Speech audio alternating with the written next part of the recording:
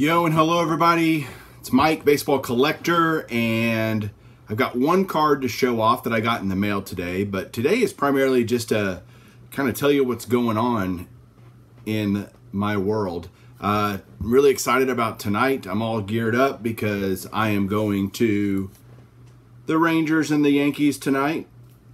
Pretty excited about that. Get to see Aaron Judge, Gary Sanchez, Gleyber Torres, all those folks. CC Sabathia is pitching against Doug Fister for the Rangers. So should be good. So far, they've split two games of the series. So far, uh, it's been a slugfest the last two games, last two nights. So I'm excited to go to the game tonight. That'll be fun. Um, update on the contest. Uh, you still have a few days to put your submission in, either a comment on the video about the contest for my thousand subs, or to do a video response and send me a link. But right now I'm at 99 people have submitted a response for the contest, so that's awesome.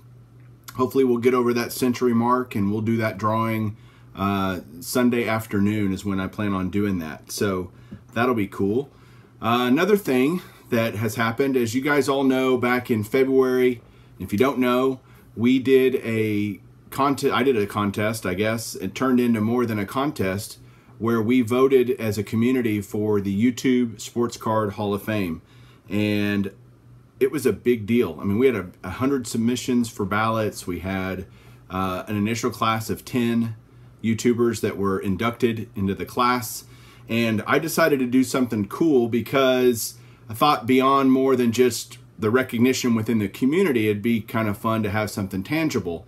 And so what I did was I talked to my brother and he kind of worked with a guy that he knows and we ended up doing some pretty cool looking little patches. So these are patches that every Hall of Fame member will get. Um, it's kind of got a baseball dude, a football guy, a basketball guy, and a hockey guy because we're non-biased on the sports. And if you get inducted in the Hall of Fame, if you've already been inducted in the Hall of Fame, I'm going to give these to you either at National, when I see you at National, hopefully we can hook up, or I'll mail them to you because the initial class you'll get two. And I know, you know, we walk around shows and we have, you know, we'll be carrying backpacks or bags or whatever. And I thought this would be a cool way, something you could put on your backpack or your bag to show that you are a member of the YouTube Sports Card Hall of Fame. And look at this. I got a bunch of them. So we're going to be able to use these in a, in a consistent manner for several years as we induct future classes to that YouTube Hall of Fame. So that's really cool. Um, second or another thing, not a second thing, it's like the fifth thing I'm talking about, but uh, I am embarking on an absolutely crazy project. I swear I think I've I'm out of my uh, out of my gourd wanting to do this, but there is a PSA set registry for Hall of Famers in different decades, every decade. And what I've decided to do is to try to do the entire run for the 60s, 70s, and 80s. Um, I think that will be affordable uh, over time uh, and doable over time. None of them are just crazy, can't get them cards. It's not the 50s, which would include Mantle rookies and Mays and things like that.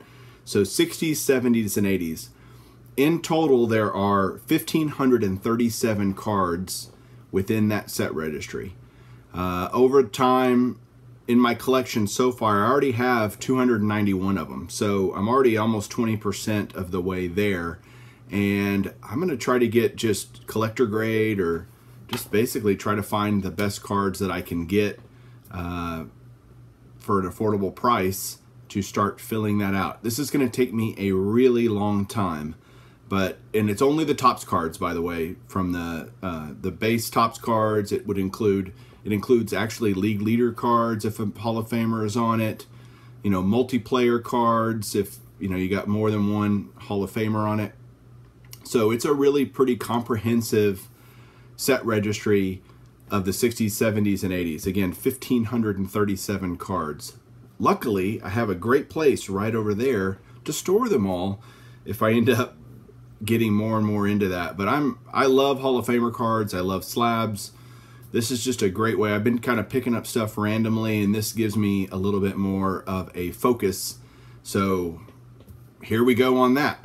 Um, be watching for that. My goal is to maybe pick up five to ten cards a week, uh, and so it'll take me a long time to do it, but that's okay. I've got time, and I'm excited about that project. So keep encouraging me. I need it.